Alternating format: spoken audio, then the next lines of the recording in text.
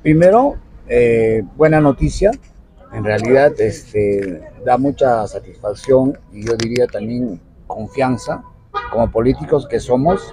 Habíamos perdido justamente ese espacio, ¿no? De no estar este, reconocidos oficialmente.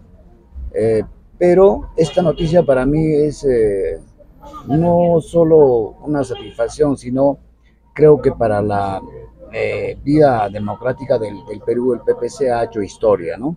Es parte de la vida democrática del Perú.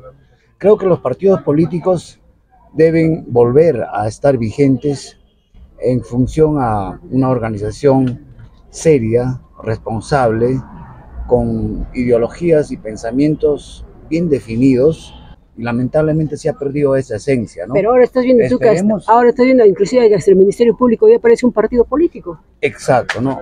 Todos los poderes del Estado, todas las instancias, imagínense, administrar la justicia politizada, ¿dónde estamos, no? Eso es lo que se está viendo. Se está legislando politizadamente, o sea, políticamente. Entonces, sin perder la esencia de que el Estado definitivamente se basa en una política de, económica, en una política social, en una política de todos los eh, sectores, ¿no? Sin embargo, se ha politizado.